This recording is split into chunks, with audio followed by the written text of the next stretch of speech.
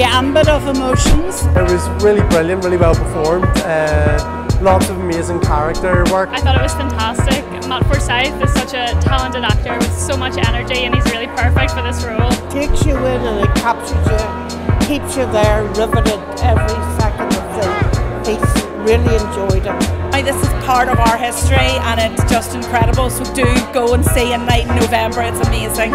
Honestly, before I came, I was like, I don't know how I'm to feel about this. But after seeing it now, I'm just like, I'm so glad I came. Just come and see it. Just do it.